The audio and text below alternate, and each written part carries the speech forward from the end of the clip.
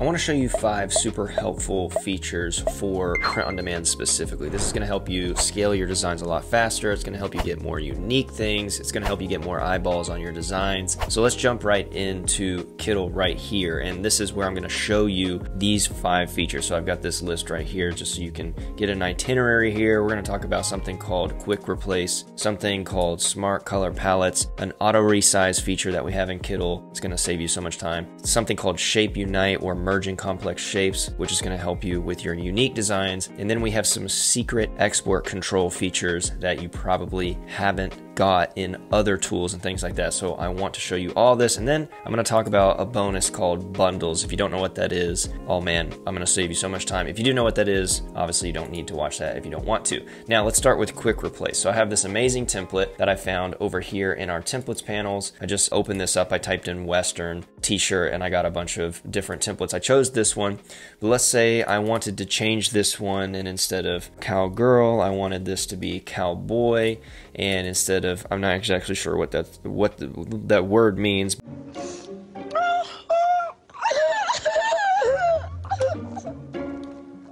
But um, I was just going to change it to country for some reason, and then jams will will change to like I, I don't know, we'll change it to something very cowboy esque. But the point, the feature that I want to show you is called Quick Replace, and we have this really nice illustration of kind of a western town with a cowgirl in the middle of it. But if I go over into our elements panel here, what I'm going to do is type in cowboy and I need to find one to fit in this template. But if I were to just kind of add one, uh, for example, if I was going to add this guy right here, now what I would need to do is like I would need to go in, I would need to delete this cowgirl, I would need to scale this one up, I would need to change all the color, all that stuff. But what I can do is with this selected, I have it selected right now, I can scroll through this and I can find one that I want Let's say I go with this one right here because it has a setting in it just like this one. So all I have to do is actually click this replace feature and just like that, it has replaced the cowgirl illustration perfectly with the proportions that I need for this design. I can obviously go in here and I can change it quickly to the color that I want in the background if I want it to punch through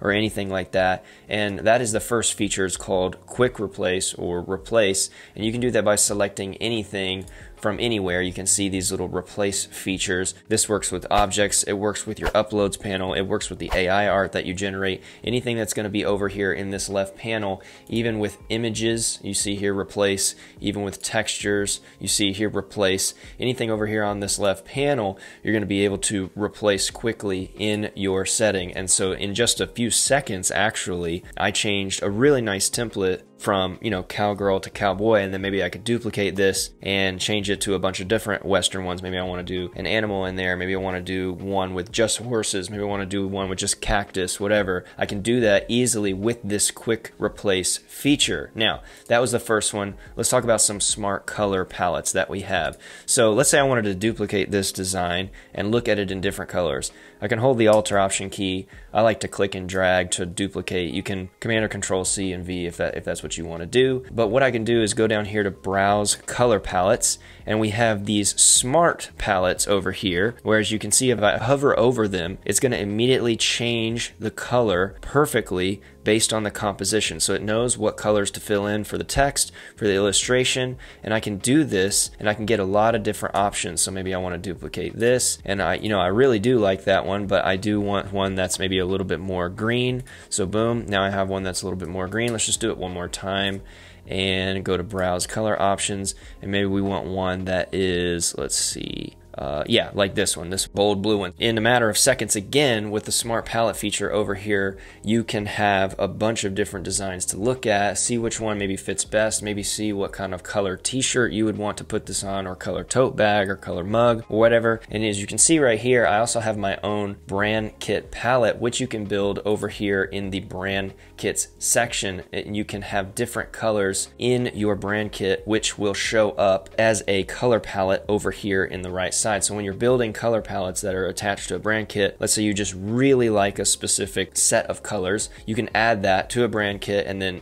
instantly apply that to your design. So that is also kind of a secondary kind of bonus feature to the color palette feature. Okay, so that was the quick replace, the smart color palettes. Let's talk about auto resize. So let's say you're gonna be using this design on a variety of products and maybe you don't wanna spend a ton of time going in, punching different numbers and exporting different sizes for whatever reason. You just wanna see kind of what they're gonna look like at different sizes. Well, this one you can see down here, it says 13.99 by 1679. It's just pixel size. But let's say I want to leave that one as it is. This one I'm going to use for something a lot smaller like a tote bag. So it doesn't need to be as big as, you know, a, a hoodie size or whatever. I can actually just scale it from the corner, actually any corner. And if I click and drag, you can see those numbers, those pixel numbers going down to what they need to be. And so let's say this one needs to be around 900 and, uh, you know, maybe I, I'm not talking about a tote bag. Maybe I'm talking about a mug, right? A mug size is going to be a lot smaller than a full back t-shirt or a hoodie. And I know it needs to be around 900 width. Well, over here, you see these custom settings on the right side where it will also automatically resize to what you want. Now, right now, these are unlinked.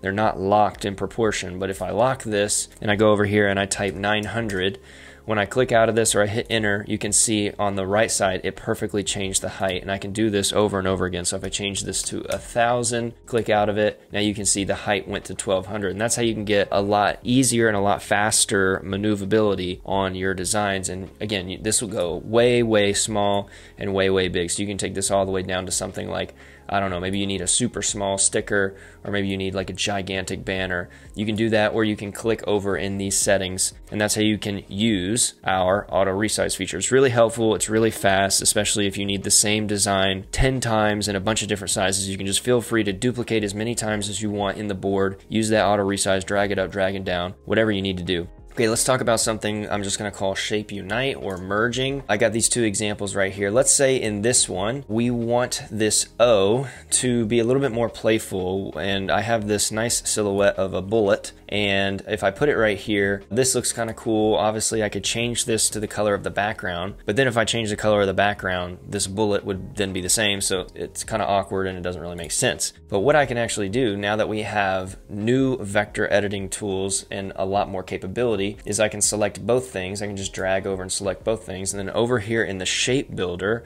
I can hit subtract. And now that bullet is now subtracted from the O. And any color I make this background will change perfectly. And I can see the silhouette in the O there perfectly. And so now that this is a one piece unit, one piece SVG, if I double click into this, I can see all of the points on all of the letters. And I can also make adjustments, by the way, to letters. I can move them, I can scale them, I can change the curves of different thing, and I can get really unique letter forms.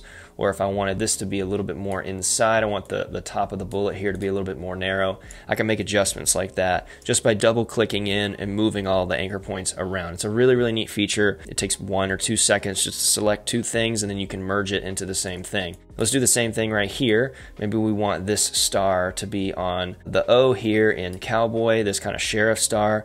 Do the same thing, select both, and I can just subtract. And now this O, uh, maybe this is going to be a design I use for a lot of different t-shirts or a series of Western print-on-demand merch that I do. This is perfect now. I can change the color to anything I want, and it's going to be perfectly adapted like that. The little star is not going to change because it's now part of that letter O object. And again, if I double click in, I can see all of the little points. I can make anything bigger, smaller, uh, more obscure, less obscure, anything that you want, you can do it now with vector editing, which is really, really powerful. So that is what I'm just calling kind of shape unite. But let's talk about some secret export settings right now, some secret export control, and I'll show you what I'm talking about, the secret portion in a second. But let's just talk about one feature that I really like a lot, if I want to go and export this, I can go up to the share and I can go to download project. Now, one thing that I love is that I have all the different file types. Usually I just need PNG. I just need to remove the background as well because I don't need that cream color in the background. I just need the darker brown color because that's what's going to go over top of a light shirt, a light tote bag, a light whatever.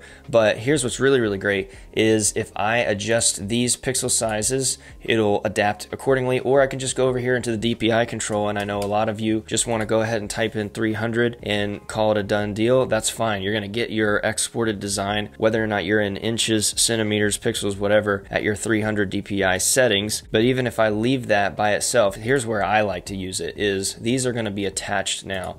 I know for Amazon, for example, and for a lot of different print on demand sites, because Amazon has its own print on demand function, I know they want 5400 by 5400. Well, if I just type in 4500, then the height is going to adjust there to the 5400. It's perfectly the size that I need. I don't even need to worry about DPI. It is the exact pixel size. You can see right here. You can change it if you want to. If you want to know it in inches and you want it to be 16 by 20, you could do that as well. But I, I just like thinking in pixels. I like thinking in pixels.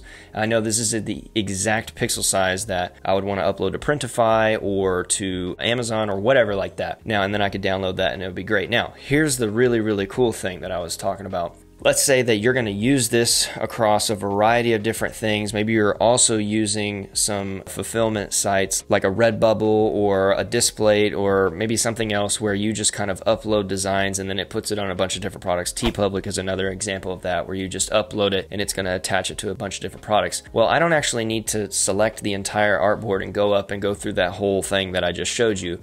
I can just select an object and just quick export it right here. You see that right there? It says quick export. If I click that, I have all of the same options, PNG, JPEG, SVG, whatever, and then I can export it at one, two, or three times size. Now let's say I wanted to further edit this in another design program. Maybe I use multiple tools. Well, then I can just export it as an SVG, and then it's going to be perfectly editable, still scalable, still vector, and any other tool that I want to use. And so that's what makes the quick export. That's the secret part. Like a lot of people didn't know that. They can go, I could even select this entire middle part of the design and just export this part of the design. Maybe I just want to use that as a sticker, and I just want to make sure it's really, really big, right? Three times the normal size of the pixel ratio, which you can see over here, 963. I'm going to times that by three. It's going to be a lot bigger. Or if I just want the text on a curve, I can just export that or if any any other part of it I can do. That's the secret feature of the export control that you can use is quick export or you can go up into the share settings.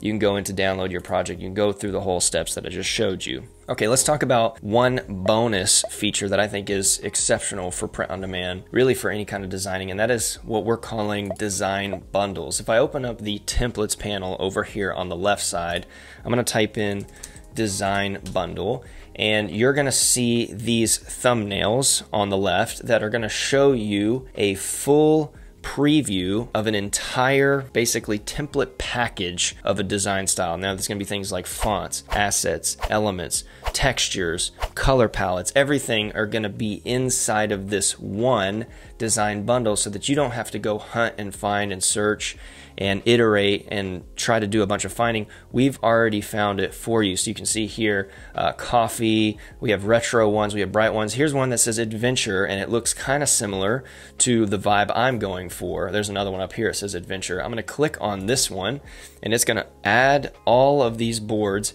into my current project. You can see there's 12 boards. Let me get this out of the way.